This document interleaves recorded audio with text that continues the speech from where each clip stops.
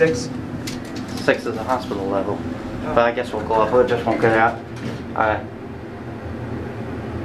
This is the elevator, um, the main elevators at the St. Peter's University Hospital parking deck um, in New Brunswick, New Jersey. With JBM Ryder. Hi!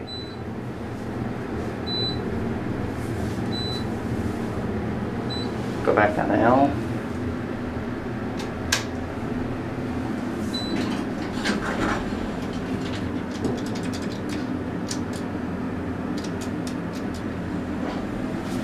We'll get a Very wooden elevator. I believe this thing was modernized. It used to be Dover Impulses fixtures. Capacity 3,500 pounds.